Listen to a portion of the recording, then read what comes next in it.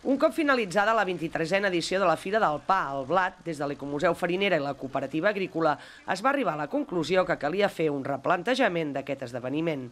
És per això que ja s'estan fent reunions per intentar donar un altre enfoc a la festa. De moment, ja us podem avançar que la fira es dividirà en dos blocs, el de la sembra i el de la cega.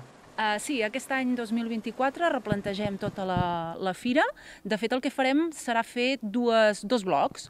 Una al mes de gener, quan es celebrava aquí a Castelló d'Empúries la festa de Sant Antoni, ens afegirem a aquesta celebració i ajuntarem la festa de la, de la sembra, que ja vam fer l'any passat, i l'altre bloc serà al juny, mantenim la, les dates de juny, eh, per fer la fira, la fira que abans era la Fira del Pa, eh, on es feia la festa de la, de la Sega, i, i farem aquesta segona part.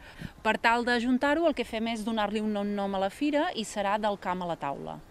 Uh, les dates estan més o menys lligades. Uh, la primera part seria el mes de gener, el del 19 al 21 de gener, i la segona seria el 9 de juny.